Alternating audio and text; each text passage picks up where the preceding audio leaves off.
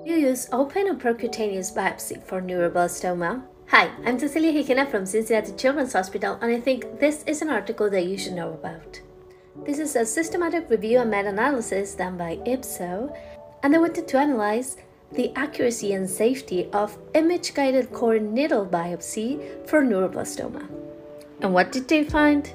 They gathered eight retrospective study with 490 patients, and what they found is that tissue adequacy and biological characterization of the biopsy was not significantly different in both groups. But intraoperative transfusions and complications were higher in the surgical group. So it seems that image guided core needle biopsy is safe and effective for diagnosing neuroblastoma. Let us know what you think and stay tuned for more articles that you should know about.